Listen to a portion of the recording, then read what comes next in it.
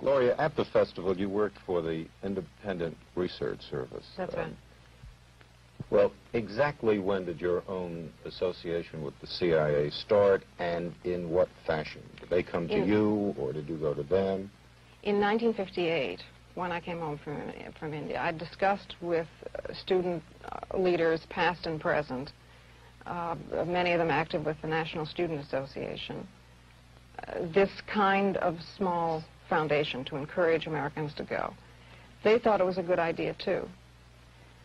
I was then told by foundations and professors and friends that it that I should not do this, that I would get in trouble with the House Un-American Activities Committee, the American Legion, uh, all of those 50s people.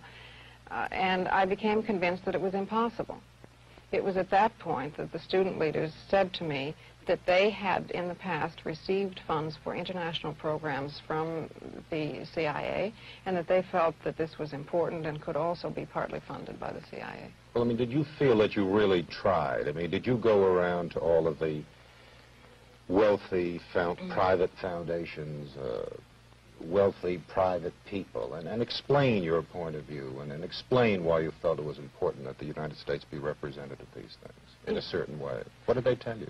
Uh, they told me that, well, the Ford Foundation, for instance, told me that they thought we were uh, too liberal and too controversial and that we would endanger their cultural programs in Austria. I mean, the first festival was being held in Vienna.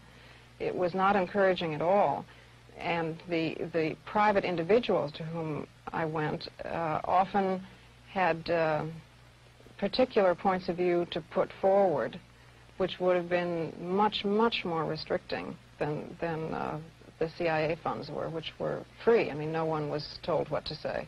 What do you mean they were free? You mean to say it was easier for you to work for the CIA than a private That's right. That's right. And and the the reason I think that comes as a surprise, as it did to me at the time. I mean, I had uh, the conventional liberals' view of the CIA as a right-wing incendiary group, and I was amazed to discover that this was far from the case. That they were enlightened, liberal, nonpartisan activists of the sort who characterized the Kennedy administration, for instance.